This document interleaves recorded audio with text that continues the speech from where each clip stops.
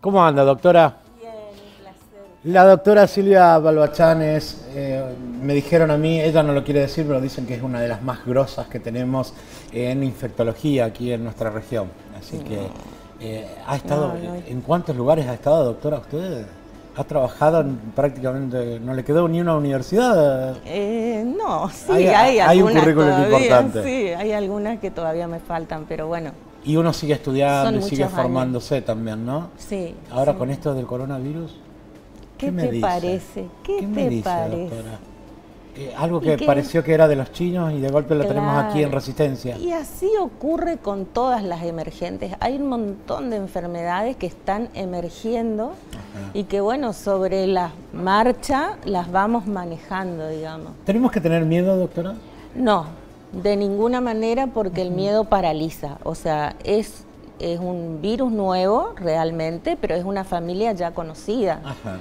La Era algo que estaba, lo que era pasa es que ahora que se estaba, popularizó. Digamos, este virus, o sea, la familia coronaviride, o sea, es un, como una familia grande, un árbol genealógico, y eh, existían ya eh, enfermedades por coronavirus, de hecho las emergentes de SARS y la del Medio Oriente en el 2002-2003 son de esta familia y producen enfermedades en las aves y en humanos, algunos grupos zoonóticos, ¿m? ¿Y como por, qué, este, ¿Y por qué es tan rápido el efecto? porque tiene mucha transmisibilidad. Ajá.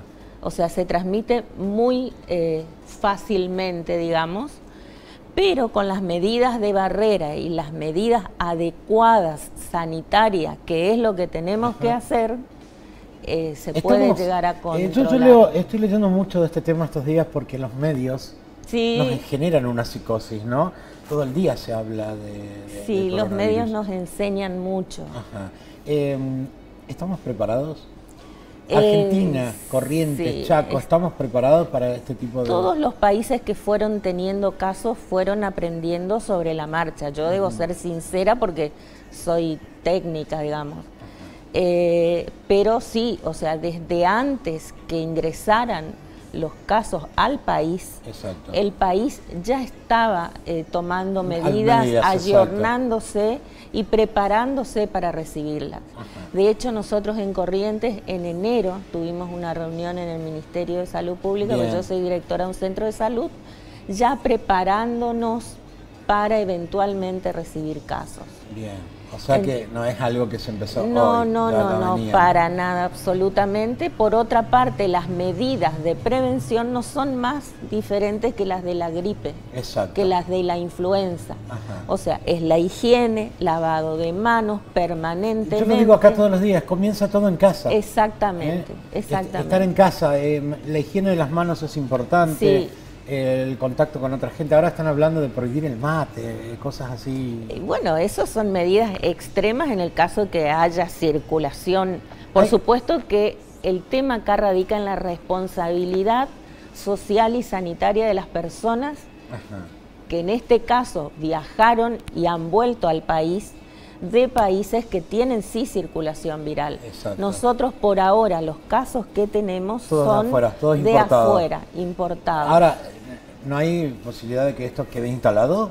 Y en algún momento, si hay circulación viral, sí, digamos. O sea, eso no podemos evitar si existe circulación viral. Ahora, el tema está, y quiero insistir en esto porque para mí el, el- el aspecto medular de la cuestión, en evitar que eh, tengamos circulación viral. O sea, Exacto. toda persona que llegue eventualmente sintomática, si bien hay un protocolo en los aeropuertos y no sé, la verdad desconozco en qué medida se cumple a nivel nacional, Sí, es muy difícil, la verdad, eh, poder controlar algo así. por eso, por eso la disposición actual del Ministerio de Nación es que toda persona que llegue de esos países Exacto.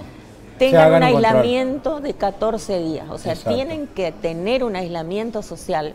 No quiere decir que tengamos licencia en el trabajo y vayamos de vacaciones de vuelta a un lugar del país De o hecho, aquí en vayamos al Corrientes se ha, shopping. se ha tomado medidas, el gobierno de la provincia ya tomó la medida de todos aquellos que estuvieron, eh, tienen una licencia extraordinaria para poder hacerse los controles de salud pertinentes. Sí, y tienen que estar aislados. ¿Cómo se detecta rápidamente el coronavirus? Porque es muy común que nos resfriemos. Yo soy una persona alérgica, por ejemplo. Un cambio de, mínimo de clima o el estar en un lugar con aire y salir de golpe al calor, ya uno se congestiona y ya también viene esa psicosis. No tendré el coronavirus, no tendré dengue, que también ahora estamos hablando mucho. En general, el diagnóstico de, coronavirus excluye el dengue porque el coronavirus tiene manifestaciones respiratorias. Claro. O sea, tiene fiebre, generalmente odinofagia, dolor de garganta. Mucho dolor de garganta, dicen que es garganta de seca y tos seca. Tos seca. En realidad eh, se diferencia un poco de los otros virus respiratorios porque tiene poco goteo nasal. Aunque eh, a diferencia de la gripe A, que es algo que hemos hablado muchísimo, que también se generó toda una psicosis, de golpe es como que desapareció. En eh, realidad sigue estando, pero no se habla tanto. Sí, sí, sí. No se habla tanto. Porque es como todo, digamos, o sea, a medida que aprendemos a conocer algo, le tenemos un poco menos de miedo, nos acostumbramos, tomamos las precauciones que por suerte son las mismas que para el coronavirus. Ahora, eh, doctora, eh, eh, ¿por qué avanza tan rápido? Uno agarra el virus y, es como, hemos visto casos que es muy rápido.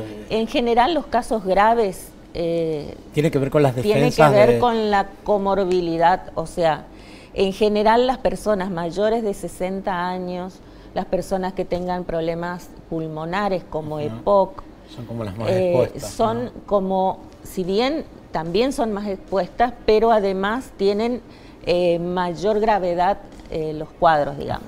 Y para que la gente tenga en cuenta, el contagio, ¿cómo es? el contagio es por vía respiratoria. Por, el... por contacto, por ejemplo, un paciente que está sintomático, porque tiene que ser sintomático para emitir las gotitas, hasta dos metros de distancia, eh, al toser, al hablar, al estornudar, por ahí estornuda, quedan las gotitas en la mesa, yo vengo, toco la mesa, me toco el ojo, me toco la boca, me toco, y ahí sí puedo contagiarme. Es un virus muy transmisible, pero a su vez si tomamos las medidas de higiene, es un virus bastante sensible. Exacto. O sea, si yo me lavo las manos, limpio mi casa o los pasamanos o todas las cosas que tengan contacto, con la lavandina simplemente que usamos en la casa, ¿sí? de, de 100 mililitros en 10 litros de agua, con esa concentración simplemente en 5 minutos se eh, inactiva. los aglomeramientos de gente, que es muy común.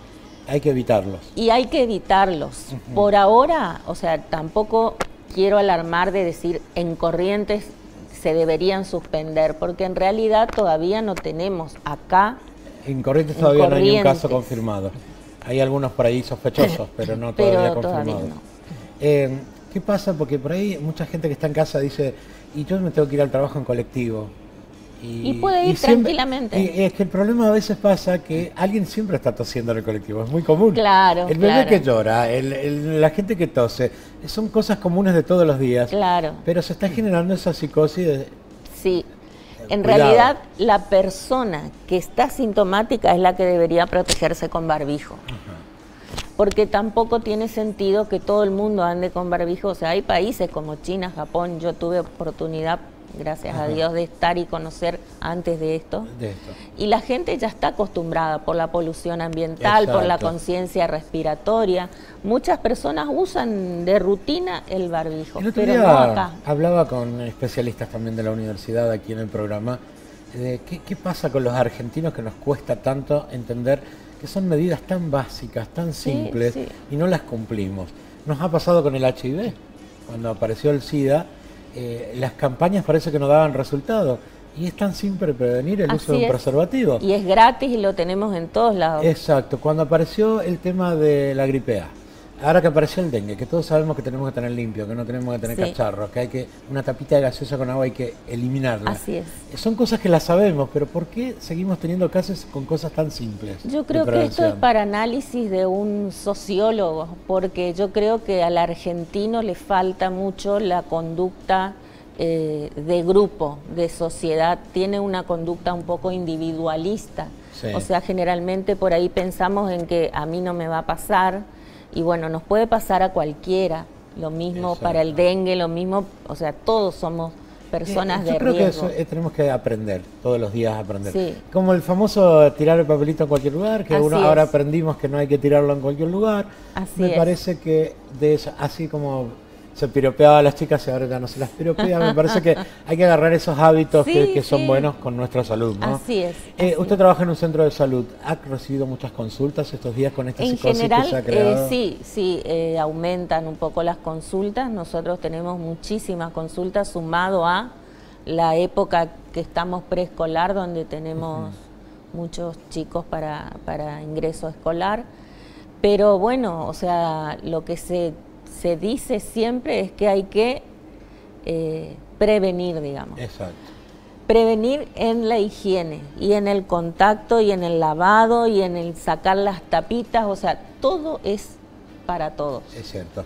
Ahora estamos con una campaña muy fuerte contra el dengue aquí en Sí, Corrientes. sí, ¿eh? totalmente. Eso, eso no debería cesar. O sea, ahora la semana que viene viene una semana muy importante de lluvias. Es probable, ojalá que no suceda, pero es de esperar que después tengamos muchos más casos. de Muchos más casos. de Por eso hay que, hay que prevenir, hay que comenzar con la Sí, higiene en sí, casa. sí. Eh, lo que pasa también con la gente, doctora, es que a mí me pasa, veo la publicidad, los síntomas, dolor de cabeza, sí, me duele la cabeza, un poquito de fiebre, sí, capaz que sí, eh, cansancio, y, es como que son síntomas muy comunes que uno en tiene. muchas personas pasa como un cuadro subclínico, ¿eh? También para la influenza y también para el coronavirus. Bien. O sea, en este momento lo importante es consultar ante esos cuadros y analizar el contexto epidemiológico. Es así. Por eso volvemos a lo mismo, ¿no? De siempre, comenzar en casa. Así Esa es. es la, es la así gran es. recomendación. Sí, y, A cuidarnos entre y todos. acudir a eh, las fuentes fidedignas, porque en este momento, eh, en estos días, hay muchos audios falsos, Sí, las redes información sociales, falsa. así como construyen, también destruyen. Así es. Hay que tener Así cuidado hay con que eso. tener cuidado, hay que ocuparse, lavarse las manos, eh, higienizar la casa, prevenir, vacunarse contra la gripe ahora cuando llegue para influenza, no es para coronavirus. Si bien hay una vacuna, o sea, hay muchas cosas experimentales en este momento porque es una enfermedad eh, que se aisló ahora en diciembre, enero, Exacto. digamos. Pero en Israel hay eh, un equipo de trabajo eh, del Ministerio de Ciencia y Tecnología que están trabajando una vacuna porque ellos ya tenían casi todo el mapa genético de un coronavirus aviar que producía enfermedades y, y mucho detrimento económico en las aves. Exacto. Entonces, esa vacuna que es el, la IBB por ahora, o sea, eh, no sabemos qué nombre le van a poner, ya está el, casi el mapa genético. De ahí se van a tomar dos proteínas y con esas dos proteínas van a organizar o armar, digamos así, una vacuna de ingeniería genética. Y eso va rápido. que va rápido porque eh, ellos esperan que en tres meses eh, puedan tener las pruebas de seguridad y después, bueno, alguna empresa, laboratorio que la, que la lance al mercado y todo eso. Yo creo que en, en seis meses, no sé, no, va a estar. estaría. Por esperemos. ahora hay que Por ahora hay que prevenir. Doctora, siempre es un placer recibirla aquí en nuestra casa. Me encanta que venga. Sé que tiene múltiples ocupaciones, pero me gusta porque siempre aprendemos con usted. Igualmente, es ¿Eh? un placer verte. Gracias por la visita, doctora.